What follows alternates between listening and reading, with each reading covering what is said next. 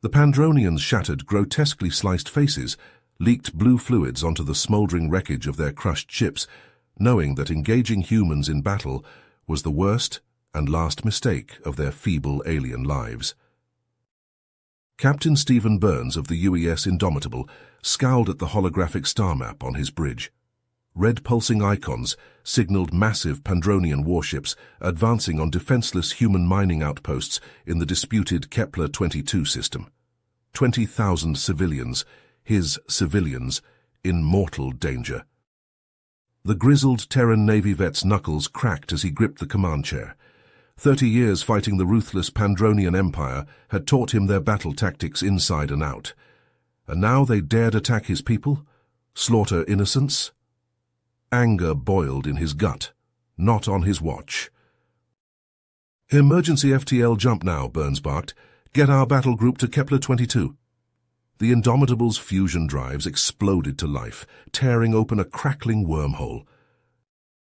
As the ship plunged into swirling blue vortex, Burns turned to his XO Commander Johnson. This is it. The damn bugs want a war. They're going to get one. He punched up a fleet-wide channel, this is Captain Burns. Listen up. When we exit FTL, expect heavy resistance. But we are the line between those Pandronian bastards and our people. We do not flinch. We do not hesitate. We hold the line, and may God help us if we fail. The wormhole collapsed with a flash as the UES ships hurtled toward the distant binary stars of Kepler-22, toward a desperate battle against a vicious alien foe, toward the flashpoint for a war that could engulf the galaxy. The Terran Republic and Pandronian Empire had skirmished for decades. But now the fate of humanity itself hung in the balance. The Indomitable shuddered as it ripped its way back into normal space, the swirling chaos of the wormhole collapsing behind it. But there was no time to catch a breath. The instant the ship's sensors came online, proximity alarms blared across the bridge, a dozen obsidian-hulled Pandronian warships hung in space before them, angular and alien, like a swarm of black hornets. Bright plasma torpedoes lanced out from their launch tubes, streaking towards the defenseless mining facilities orbiting Kepler-22. Aegis system now, Burns shouted over the din of the alarms. Protect those stations! Hundreds of life pods belched forth from the besieged mining facilities, tiny specks against the void, fleeing for their lives as the plasma torpedoes bore down on them. The Indomitable's experimental point defense lasers swiveled on their turrets, tracking the incoming projectiles with inhuman precision. Then, all at once, they opened fire. Dozens of high-energy beams scythed through space, intercepting the plasma warheads and detonating them in titanic blossoms of fire. The mining stations weathered the blasts, intact but battered. Burns gripped his chairs tighter, his eyes never leaving the tactical display. The Pandronians wouldn't give up that easily. They never did. Thexo, I want birds in the void now, he growled. Raptors and broadswords. Gut those bugs. Aye, sir. Johnson snapped a quick salute, then grabbed the intercom. All fighters, all bombers, scramble, scramble, scramble. The Indomitable rumbled as its launch bays opened, disgorging scores of sleek Raptor attack craft and heavily armed broadsword bombers. The human ships roared towards the Pandronian fleet, dripping with missiles and autocannons, hungry for alien blood. But the Pandronians were quick to respond. Swarms of sickle-shaped interceptors, all sharp edges and spines, poured forth from the enemy carriers to meet the human assault. In seconds, the space around Kepler-22 devolved into a storm of whirling metal, tracer fire and missile contrails. Terran craft danced and weaved, strafing the obsidian hulls of Pandronian ships and blasting apart enemy interceptors in sprays of blue viscera. But the aliens gave as good as they got. Pandronian plasma cannons flensed human strike craft into molten slag, while the whirling blades of the sickle ships sliced raptors and broadswords to ribbons. On the Indomitable's bridge, Burns watched the madness unfold, his expression hewn from stone. The Pandronians were tenacious bastards, he had to give them that. But he and his crew hadn't come this far to let a bunch of overgrown insects slaughter innocent civilians.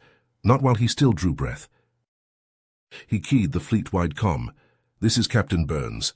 All ships, weapons free, hold the line. We stop them here or we die trying. And if we die, we're taking these alien bastards with us. Burns watched the chaos unfold, his face grim. The Indomitable shuddered as her guns pounded away at the Pandronian ships, the bridge shaking with each salvo. But even as his raptors and broadswords wreaked havoc among the enemy fleet, he couldn't shake the feeling that something was off. The bugs were putting up a hell of a fight, but their tactics seemed almost predictable, like they wanted to keep the Terran ships focused on the battle in front of them. Suddenly alarms blared across the bridge. Sir, Johnson shouted, his eyes wide, massive energy signature decloaking to aft. It's a dreadnought. Burns spun to the tactical display just in time to see the monstrous form of a Pandronian dreadnought, the Fist of Antares, shimmer into existence behind the Indomitable. Its obsidian hull seemed to swallow the light around it, and its main ion cannons glowed with an eerie blue light. Evasive maneuvers, Burns roared, but it was too late. The dreadnought's cannons fired, lancing out with beams of pure energy. They slammed into the Indomitable's aft shields, which flared brightly for a moment before collapsing entirely. The ship shuddered violently as the beams carved into its hull, slicing through decks and bulkheads without difficulty. Hull breach decks 12 through 15, someone shouted over the din of alarms. We're venting atmosphere. On the view screens, Burns could see bodies tumbling into the void, sucked out by the inexorable pull of vacuum. His gut clenched. Those were his people out there, dying in the cold of space. Rage boiled up inside him, hot and fierce. Those bug bastards, he snarled. XO, come about. Bring our forward guns to bear on that dreadnought's command tower. Johnson relayed the orders, and the Indomitable swung ponderously about, her maneuvering thrusters firing in great gouts of flame. As the ship's prow lined up with the Fist of Antares, Burns thumped his hand down on the weapons control. Fire! The Indomitable's forward particle cannons roared to life, sending streams of incandescent energy screaming towards the Pandronian dreadnought. They impacted against the ship's shields, which flared brightly, and held. Burns stared in disbelief. Those shields should be buckling, he said, his mind racing. The bugs have upgraded their tech. He watched as the dreadnought began to turn away, no doubt preparing to cloak and flank them again. But Burns wasn't about to let that happen. Not again. Broadswords, he barked into the com. Quantum torpedoes, full volley. Take that bastard down. The broadsword bombers, which had been holding position in the shadow of the Indomitable, roared to life. They screamed towards the fist of Antares, weaving through the chaos of the ongoing dogfight. As they closed in, their torpedo bays snapped open, releasing a swarm of glowing projectiles. The quantum destabilizer torpedoes streaked towards the dreadnought, their forms shimmering and ghostly. They passed right through the ship's weakened shields as if they weren't even there, then detonated deep within the hull. For a moment, nothing happened. Then the fist of Antares seemed to bulge outwards like a balloon being inflated. Bright jets of flame erupted from its hull as secondary explosions tore through its innards. Finally, with a blinding flash, the dreadnought came apart, torn to pieces from the inside out. Burns allowed himself a grim smile as the fist of Antares died its fiery death. It had been a close thing, but they'd weathered the ambush. The Pandronians weren't going to roll over the mining facilities today. Good work, people, he said over the general com. But this fight's not over yet. Regroup and rearm. We hold the line regardless of the cost. As the fist of Antares broke apart in a dazzling display of destruction, the remaining Pandronian ships abruptly disengaged from the battle. Burns watched with a mix of satisfaction and unease as they regrouped in a tight formation high above Kepler-22's swirling azure gas giant. They're up to something, he muttered, his eyes narrowing. XO, bring us about pursuit vector. We end this now before they can slip away or call for backup. The Indomitable's engines flared as the battleship accelerated towards the retreating enemy fleet, her escorts falling into formation around her. But as they closed the distance, a hail from the Pandronian flagship crackled across the com. The view screen flickered, then purposed into the image of a Pandronian unlike any Burns had seen before. His chitinous exoskeleton was jet black, adorned with jagged spikes and pulsing green runes. His compound eyes glowed with malevolent intelligence, and his mandibles clacked as he spoke. I am Deathbringer Kazavoth, favored herald of Emperor Antares, the alien hissed, each word dripping with venom. You humans have defied the divine will of the Emperor for the last time. Behold, the instrument of your destruction. On the view screen, the hull of Kazavoth's ship, the Soul Reaper, began to unfurl like the petals of some nightmarish flower. Nestled at its heart was a pulsating orb of sickly green energy, growing brighter by the second. Burns felt his blood run cold. He recognized that weapon, had seen the classified intel reports, a necroflux cannon capable of cracking a planet in half, outlawed by every sane civilization in the galaxy. The humans of this system will be the first to feel the Emperor's wrath, Kazavoth gloated, his mandibles twisting into a perverse approximation of a smile. But they will not be the last. Soon, all of your kind will kneel before the might of the Pandronian Empire, or be extinguished. Burns banged his hand on the arm of his command chair, his mind racing. The mining facilities and the thousands of civilians. If that cannon fired, they'd all be atomized in an instant. He had to act, and fast. He leaned forward, his eyes hard as flint. Kazavoth, he barked, his voice booming across the com. This is Captain Stephen Burns of the UES Indomitable. I'm giving you one chance. Power down your weapon and surrender, or I'll blast you and your ship to atoms. The Deathbringer's laughter crackled across the link, harsh and grating. You amuse me, human. You think your pitiful threats can stay the hand of the Emperor's chosen? The necroflux cannon will fire, and your precious colonies will die screaming, and there is nothing you can do to stop it.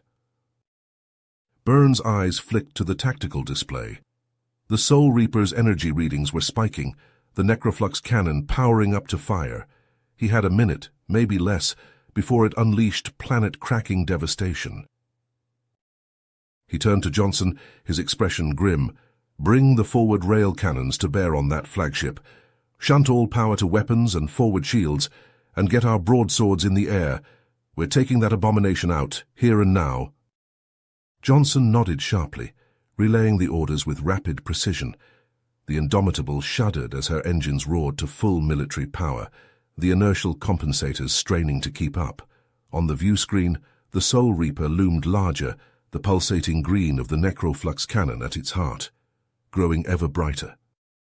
Burns gripped the arms of his chair until his fingers tightening and his eyes fixed on the enemy ship. This was it, the moment of truth. In the next few seconds, the fate of Kepler-22 and everyone on it would be decided. The future of the war perhaps the future of humanity itself, hung in the balance. And as the distance between the Indomitable and the Soul Reaper shrank to nothing, Burns whispered a silent prayer to whatever gods might be listening. Come on, you big ugly bitch, he growled, his finger hovering over the fire control. Let's dance. Burns' mind raced as he watched the Soul Reaper's hull unfurl, revealing the pulsing abomination at its heart. The necroflux cannon glowed brighter, its sickly green light casting eerie shadows across the bridge. He had seconds, maybe less, before it fired and doomed everyone on Kepler-22. All broadswords, new target, he barked into the com. Concentrate your torpedoes on that cannon. Indomitable and escorts provide covering fire. The human ships surged forward, the Indomitable's railguns roaring as they spat hypervelocity slugs at the Soul Reaper's shields. The broadswords, engines howling, raced towards the Pandronian flagship, weaving and jinking to avoid the storm of return fire. But Kazavoth was ready for them.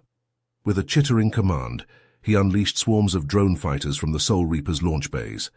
The machines, each no larger than a raptor but jam-packed with pulse cannons, tore into the human formation with insectile ferocity. Evasive maneuvers, Johnson shouted over the com. Stay on target. The broadswords jinked and rolled, trying to shake the drones, but the machines were too fast, too agile. Pulsefire stitched across the bombers' hulls, breaching cockpits and igniting fuel lines. One by one, the human ships winked out, consumed by fireballs that flared briefly and died in the void. But a handful of broadswords broke through the swarm, battered but unbowed. They bore down on the Necroflux cannon, torpedo bays snapping open. Kazavoth's eyes widened in sudden fear. Fire! Fire now! he screeched. The broadswords launched, quantum torpedoes leaping from their tubes and streaking towards the cannon. For a heartbeat it looked as if they would impact, would tear the abomination apart before it could fire.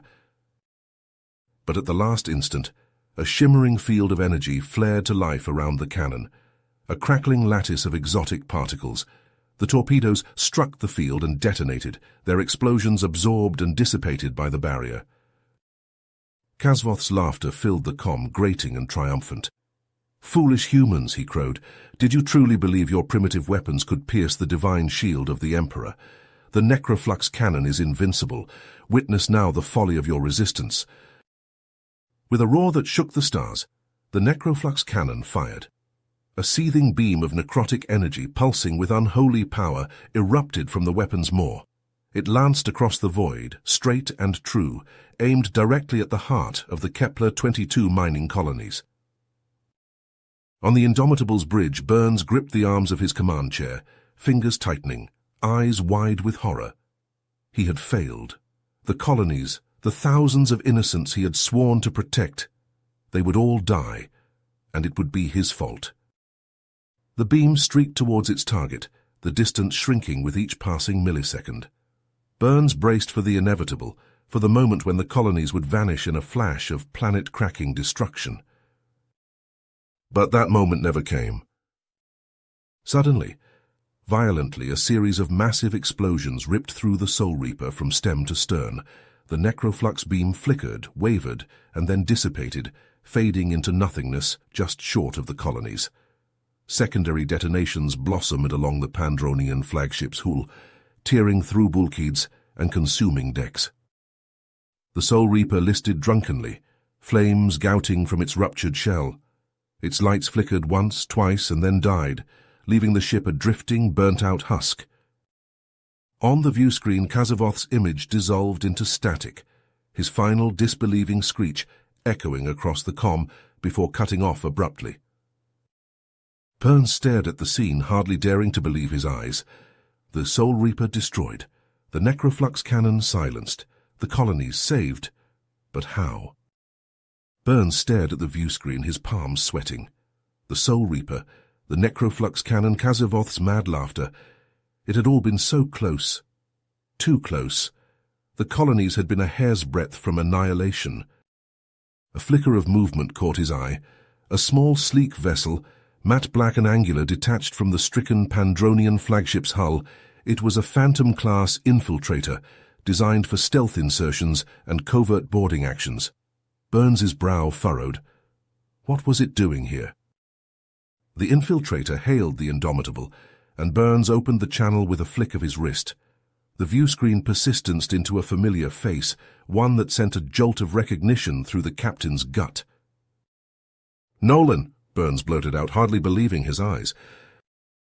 Commander Nolan Reeves, Burns' old friend and the Indomitable's chief intelligence officer, grinned back at him from the screen. There was a roguish glint in his eye, despite the sweat and grime coating his face. In the flesh, Cap, Reeves said, his voice crackling over the com. Sorry for the radio silence, had to keep this one close to the vest. Burns leaned forward, his mind racing. Nolan, what the hell is going on? What were you doing on that Pandronian ship? Reeves's grin widened. Saving the day, of course. He leaned back in his chair, the picture of nonchalance. We got a tip from a high-level Pandronian defector a few weeks back. Warned us that Antares was planning to deploy a forbidden weapon, something called a necroflux cannon. Nasty piece of work. Burns nodded grimly. We noticed. Uh, yeah, well, the brass wanted more intel before they'd commit to a strike. So my team and I took a little jaunt over to the Soul Reaper to see what we could dig up. Reeves shrugged, as if infiltrating an enemy dreadnought was just another day at the office. And let me guess, Burns said, piecing it together, You found the cannon. Bingo, Reeves confirmed. Damn thing was huge, Cap, size of a frigate at least. Knew we couldn't let the bugs fire that monstrosity, so while you were out here keeping them busy, we snuck aboard and rigged the power core to blow. On the view screen, the Soul Reaper shuddered as another series of explosions rippled through its hull. Reeves glanced over his shoulder, a satisfied smirk on his face. Looks like my boys did their job, he said. Cannon's toast, and the Soul Reaper's not looking too hot either. Burns shook his head, a mixture of relief and exasperation warring in his gut. Damn it, Nolan, you took a hell of a risk. If you'd been caught... Reeves waved a hand dismissively. All part of the job, Cap, you know that. His expression sobered. Besides, we couldn't let those bug bastards wipe out the colonies. Too many lives at stake. Burns sighed, knowing his friend was right. Still, the thought of how close they'd come to disaster sent a chill down his spine. Sir, Johnson called out from the tactical station, the Soul Reaper, she's breaking up. Burns turned back to the view screen just in time to see the Pandronian flagship shatter into a thousand pieces, consumed by the fires raging within its hull. Escape pods, tiny specks against the inferno, ejected from the dying ship, fleeing the destruction. Nolan, get your team back to the Indomitable, Burns ordered. I want those escape pods captured. If we can get our hands on some high-ranking Pandronians, we might be able to extract some intel on Antares' plans. Reeves snapped a salute, the picture of professionalism once more. ICAP, we're on our way. The view screen winked out as the infiltrator peeled away from the Soul Reaper's remains, angling towards the Indomitable. Burns turned to Johnson. Get a retrieval team ready. I want those pods secured as soon as possible. Yes, sir, Johnson acknowledged, already relaying the orders. As the Indomitable's shuttles swarmed out to collect the Pandronian escape craft, Burns allowed himself a moment to breathe. They'd won the day, against adversity. The colonies were safe, the necroflux cannon destroyed. It was a victory, hard fought and well earned. But as he watched Kazavoth's pod being tracted into the Indomitable's hangar bay, Burns couldn't shake the feeling that this was just the beginning. The Deathbringer's fanaticism, his utter devotion to Antares. It spoke of a deeper rot within the Pandronian Empire, a darkness that threatened to engulf them all. Burns straightened in his chair, his heart made. Whatever came next, whatever Antares had planned, he would be ready. The Indomitable would be ready. They would stand against the darkness at any expense. For now, though, there was work to be done. Burns stood, his eyes fixed on the display as Kazavoth's pod was hauled onto the hangar deck. XO, the bridge is yours, he said, already striding towards the lift. I'm going to have a little chat with our guest. Johnson nodded, slipping into the command chair as Burns stepped into the lift. As the doors slid shut, Burns allowed himself a small, grim smile. Kazavoth had a lot to answer for, and Burns intended to get those answers, one way or another. The lift descended into the bowels of the ship, carrying Burns towards his destiny and the fate of the galactic realm itself. Burns strode into the Indomitable's brig, his boots ringing on the metal deck. The air was thick with the acrid scent of burnt circuitry and ozone, a testament to the fierce battle that had raged just hours before. In the center of the room, shackled to a reinforced chair, sat Deathbringer Kazavoth. The Pandronian commander looked worse for wear, his chitinous exoskeleton cracked and leaking viscous green fluid, but his compound eyes still glowed with defiance as Burns approached. Kazavoth, Burns growled, his voice low and menacing. You've got a lot to answer for. The Deathbringer's mandibles clicked in what might have been a laugh. I answer only to the Emperor, human. Your pitiful attempts at intimidation mean nothing to me. Burns pounded his fist on the table, the sound echoing through the brig. Your Emperor isn't here, Bug, but I am, and I want answers. What is Antares planning? What's his next move? Kazavoth leaned forward, straining against his bonds. The Emperor's will shall be done, and the Pandronian Empire shall reign supreme. Your worlds will burn, your people will be enslaved, and your precious republic will crumble to dust. Burns' eyes narrowed. This was getting him nowhere. The Pandronian was a fanatic, completely devoted to his emperor. He wouldn't crack no matter how hard Burns pushed. The door to the brig hissed open, and Reeves stepped in, followed by a tall, slender Pandronian in a tattered lab coat. The Pandronian's exoskeleton was a dull silver, and his compound eyes darted nervously around the room. Cap, Reeves said, nodding towards the silver Pandronian. This is Zor-El, the defector I mentioned. Burns turned to Zor-El, his expression guarded. You have information for us.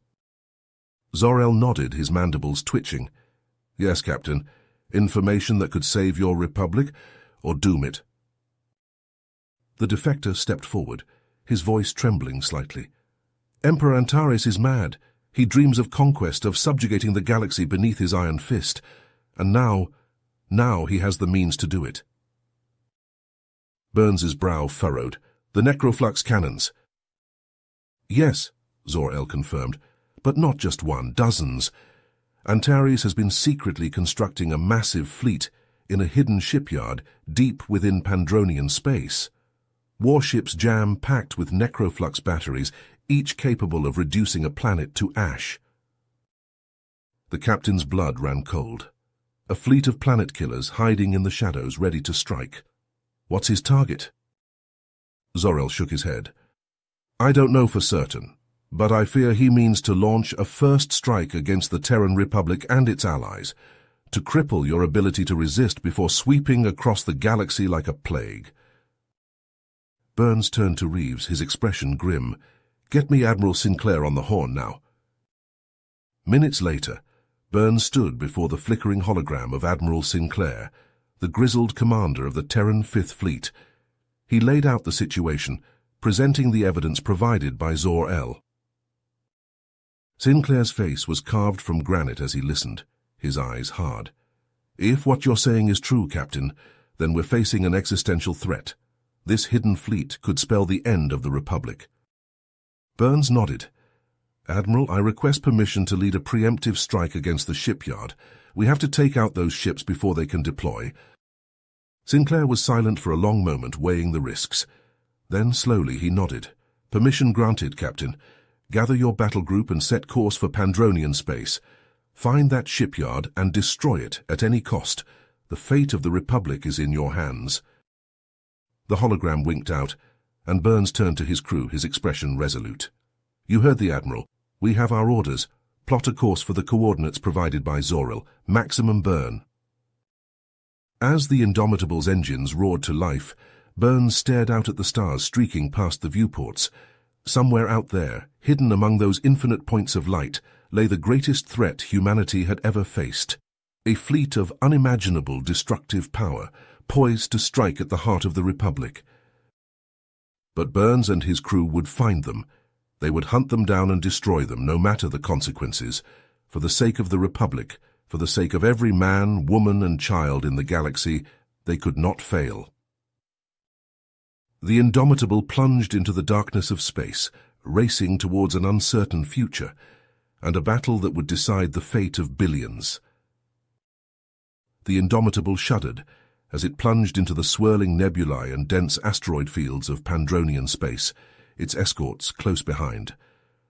Burns squeezed the armrests of his command chair, eyes fixed on the interface. The treacherous territory was the perfect place for an ambush, and he wasn't about to let his guard down. Suddenly proximity alarms blared across the bridge. Multiple contacts bearing 035, shouted the tactical officer. They're coming out of the asteroid field. On the screen, a dozen sleek angular ships burst from the tumbling rocks, their black hulls almost invisible against the void. Pandronian stealth frigates, fast and deadly. The frigates darted towards the human battle group, weaving between the asteroids with uncanny agility. Then they opened fire. Bolts of searing plasma lanced out from their concealed batteries, stitching across the shields of the Terran ships. The Indomitable rocked as a volley of plasma slammed into its flank, alarms wailing. On the bridge, consoles sparked and crewmen staggered. Damage report, Burns barked.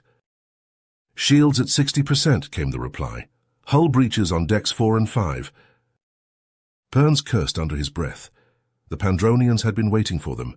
They knew the battle group was coming, but how? Sir, the frigates are using the asteroids as cover, Johnson reported, his brow furrowed. Our targeting systems can't get a lock. Burns's mind raced. The Pandronians were whittling them down with hit-and-run attacks, using the terrain to their advantage. He had to change the game. All ships, form up, he ordered. Tight defensive formation, diamond pattern. Concentrate your fire and keep those bastards at bay. The Terran vessels maneuvered into position, their hulls gleaming in the nebula's eerie light. They formed a dripping wall of guns and armor, pouring fire into the darting Pandronian ships. But the frigates were too quick, too elusive. They danced between the asteroids, always one step ahead of the Terran guns. Burns smacked his palm on the armrest. They needed to take the fight to the enemy, not just react, and he knew just the man for the job. Reeves, he called over the com. You're up. Take your team and give those bugs a little surprise. In the Indomitable's armory, Reeves grinned as he sealed his combat armor. With pleasure, Cap. Minutes later, Reeves and his infiltrators emerged from the Indomitable's airlock, maneuvering through the void with thruster packs. They angled towards the nearest frigate, dodging and weaving through the storm of fire. As they neared the Pandronian ship, Reeves armed the magnetic charges on his belt. All right, boys, he said over the team com. Let's plant some presents. The infiltrators split up, each selecting a critical point on the frigate's hull. They attached the charges, set the timers, and pushed off, jetting back towards the Indomitable. Seconds later, the charges detonated. The frigate shuddered as explosions ripped through its hull, venting atmosphere and crew into the void. It listed, engines flickering, and then went dark. One down, Reeves whooped. Emboldened, the infiltrators moved to the next target and the next. Pandronian frigates shuddered and died under their assault, opening gaps in the enemy formation. On the Indomitable's bridge, Burns watched with grim satisfaction as the tide turned. All ships advance, he commanded. Punch through that line. The Terran battle group surged forward, pouring fire into the weakened Pandronian force. The remaining frigates, their numbers thinned and their surprise lost, broke off and fled back into the asteroids. But Burns wasn't about to let them regroup. Pursue and destroy, he ordered. Don't let a single one escape. As the Terran ships chased down the fleeing Pandronians, Burns turned to Johnson. That ambush was too well timed to be a coincidence, he growled. They knew we were coming. Johnson nodded grimly. A spy, sir, in our ranks? Find out, Burns said. Quietly, we can't afford any more surprises. The Indomitable shuddered as its guns pounded a fleeing frigate to scrap. Burns stared out at the roiling nebula, his expression resolute. They had weathered the ambush, but at a cost, and he had a sinking feeling that it was just the beginning. As the last Pandronian frigate vanished in a burst of fire, the Terran battle group reformed and pressed on, deeper into enemy territory. Each ship bore the scars of battle, their hulls scorched and pitted, but they were unbowed driven by our unwavering dedication. Burns stood on the Indomitable's bridge, staring at the tactical display. They were nearing the coordinates provided by Zoral, the location of the supposed Pandronian shipyard. But as the display updated with long-range scan data, Burns felt his blood run cold. It wasn't just a shipyard. It was a fortress. A massive battle station hung in the void, its angular hull jam packed with gun emplacements and missile batteries. A swarm of warships surrounded it, like angry hornets, a full battle fleet ready for war. My God, whispered Johnson, it's a command center, Antares' command center. Burns nodded grimly. And those must be the ships, the ones armed with necroflux cannons. On the display, Dozens of dagger-shaped battleships floated in formation around the station, their hulls pulsing with the sickly green light of the alien weapons. Burns felt a chill run down his spine. Each one of those ships had the power to annihilate a world, and there were so many of them. But even as despair threatened to grip him, Burns felt a flicker of hope. This was their chance. If they could destroy this station, this nest of vipers, they could cut the head off the Pandronian war machine, end the threat of the Necroflux Armada before it could be unleashed. He turned to his crew, his eyes hard. This is it, he said. This is what we came for. We take out that station, and we end this war before it starts. The crew looked back at him, fear and commitment warring on their faces. They knew the odds, knew the risks, but they also knew what was at stake. Burns turned back to the display, his mind racing. A frontal assault on the station was suicide, even for a battle group as strong as theirs. They'd be torn to pieces before they even got within range. But maybe there was another way. Helm, he said, bring us in behind that large asteroid, use it as cover. As the Indomitable slid into the shadow of the massive rock, Burns opened a channel to the rest of the battle group. Here's the plan, he said. We're going to split their forces. The Indomitable will make a run straight for the station, drawing their fire. The rest of you engage that battle fleet. Keep them off our backs. There was a moment of silence on the com. Then, one by one, the captains of the other ships signaled their acknowledgement. They knew it was a gamble, but it was the only chance they had. Burns turned to Johnson. Bring the ship to battle stations, he said, and get me a firing solution on that station. I want every gun, every missile, every scrap of ordnance we have targeted on that monstrosity. Johnson nodded sharply, relaying the orders. Throughout the ship, crew rushed to their posts, the air thick with tension. Burns settled into his chair, his eyes fixed on the looming form of the battle station. All right, you bastards, he muttered. Let's dance. The Indomitable burst from behind the asteroid, engines roaring, guns blazing. It hurtled towards the station like an avenging angel, its hull shimmering with the impacts of a thousand weapons. The Pandronian fleet, caught off guard, scrambled to respond. But it was too late. The Indomitable was already among them, and all hell broke loose. The Indomitable shuddered as it traded blows with the Pandronian battle station, its shields flaring under the onslaught. On the bridge, Burns wrapped his hand around the chairs of his chair, his eyes fixed on the tactical display. The battle was not going well. The station's defences were too strong, its weapons too powerful. At this rate, they'd be blown to atoms before they even scratched the surface. Suddenly the com crackled to life. Captain Burns, it was Zoral, his voice urgent. I've found a weakness in the station's power core. Burns leaned forward, his heart pounding. Go on. The core is vulnerable to resonance frequencies, Zoral explained. A precise strike at the right frequency could overload it, destroy the entire station. But... But what? Burns pressed. The core is deep within the station, protected by heavy armor and force fields. Your weapons won't breach those defenses. Burns's mind raced. A conventional attack was out of the question, but maybe Reeves, he barked into the com, I have a mission for you. Minutes later, Reeves and his team stood in the Indomitable's hangar bay, suited up and armed to the teeth. Burns laid out the plan. You'll capture one of those Pandronian frigates, he said. Use it to slip past the station's defenses, make your way to the power core, and plant this. He handed Reeves a small, cylindrical device. It's a resonance charge. When it detonates, it'll overload the core, but it needs to be timed precisely with a concentrated beam from the Indomitable.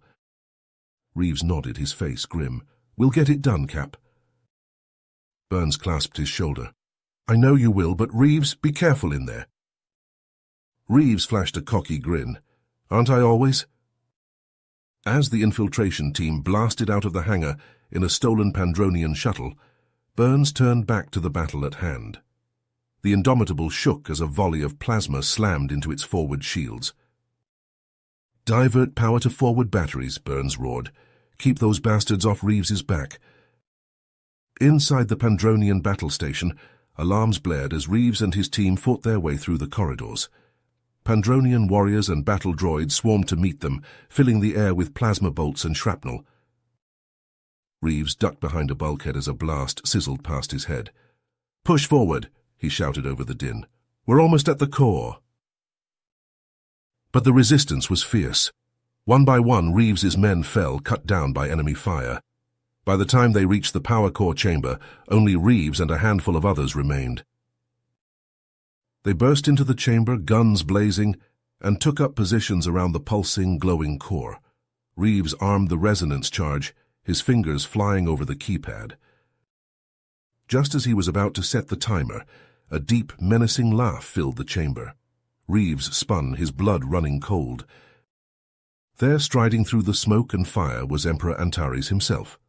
The Pandronian ruler was a towering figure, clad in obsidian armor that seemed to swallow the light. In his hand he held a crackling blade of necrotic energy. Foolish human, Antares hissed, his voice dripping with malice. You dare to challenge me in my own stronghold? Reeves raised his rifle, but Antares was too fast. The Emperor lunged forward, his blade slicing through the gun like it was paper. Reeves leaped back, drawing his vibro knife. He knew he was outmatched, but he had to buy time, had to give Burns the chance to fire the resonance beam. He charged at Antares, his blade clashing against the Emperor's in a shower of sparks. They danced a deadly waltz, spinning and striking, parrying and thrusting. On the Indomitable's bridge, Burns watched the timer on the resonance charge tick down. His finger hovered over the firing control for the resonance beam. Come on, Reeves, he muttered. Just a few more seconds. In the power core chamber, Reeves felt his strength waning. Antares was too strong, too fast. The Emperor's blade slipped past Reeves's guard, slicing into his chest. Reeves stumbled back, his vision blurring. Tainataris loomed over him, his eyes glowing with malevolent triumph. He raised his blade for the killing blow. But Reeves, with a last burst of strength, lunged forward. He buried his vibro knife in the gap between Antares's armor plates, twisting it viciously. The Emperor roared in pain and rage, his blade slicing down. And in that moment, the timer on the resonance charge hit zero. In the heart of the Pandronian battle station, Reeves and Emperor Antares clashed in a furious duel. Necrotic energy crackled and hissed as their blades met, the air thick with the stench of ozone. Around them, the power core pulsed and thrummed, its eerie light casting twisted shadows on the walls. Reeves gritted his teeth as he parried a vicious slash from Antares. The Emperor was strong, far stronger than any foe he'd faced before. But Reeves knew he couldn't falter, not now. His team was counting on him. The whole damn Terran Republic was counting on him. He risked a glance over his shoulder, saw his men working feverishly to arm the resonance charge. They were bloodied and battered, but they moved with dogged perseverance, fingers flying over the keypad. Antares pressed his advantage, his blade slicing through the air in a blur of motion. Reeves ducked and spun, feeling the searing heat of the weapon as it passed inches from his face. He retaliated with a flurry of strikes, driving the Emperor back a step. How you fight well for a human, Antares snarled, his compound eyes glittering with malice. But you only delay the inevitable. The Pandronian Empire will triumph. Your worlds will burn. Reeves laughed, a harsh bark devoid of humor. Not today, they won't. He lunged forward, feinting left, then slashing right. His vibro knife found a gap in Antares' armor, sinking deep into the chitinous flesh beneath. The Emperor roared in pain and rage, his blade coming down in a crushing overhead blow. Reeves caught it on his own blade, the impact sending shock waves up his arm. He strained against Antares' strength, feeling his knees start to buckle. Charge is set, one of his men shouted. Thirty seconds. Reeves' eyes widened. Thirty seconds. He just had to hold Antares off for thirty more seconds. He disengaged, rolling to the side as Antares' blade cleaved into the deck, where he'd been standing a heartbeat before. He came up in a crouch, his knife held before him. Antares advanced, his movements fluid and predatory. Your struggle is futile, he hissed. You cannot hope to defeat me. Reeves met the Emperor's gaze, a grim smile on his lips. I don't have to defeat you, he said. I just have to outlast you. He charged, a wordless battle cry tearing from his throat. He crashed into Antares, tackling him to the ground. They grappled and rolled, trading blows, each trying to gain the upper hand. Fifteen seconds, Reeves heard the shout, felt a surge of desperate energy he had to hold on just a little longer. Antares' blade slashed across his chest, drawing a line of fire. Reeves barely felt it. His world had narrowed to this moment, this fight. Nothing else mattered.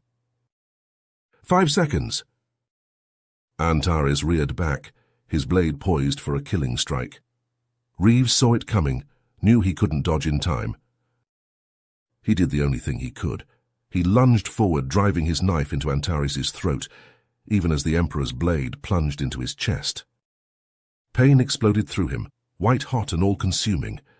He heard Antares' gurgling cry, felt the Emperor's body go limp. Charges armed. Burns, fire the resonance beam, fire it now. Reeves felt a smile tug at his lips. They'd done it, his team had done it. As the darkness closed in, he thought of Burns, of the Indomitable, of the Terran Republic he'd sworn to defend. Give 'em hell, Cap, he whispered. Then the world went white, and Nolan Reeves knew no more. On the bridge of the Indomitable, Burns stared at the battle station, his finger hovering over the firing control. Reeves's last transmission echoed in his ears, a plea and a command, all in one.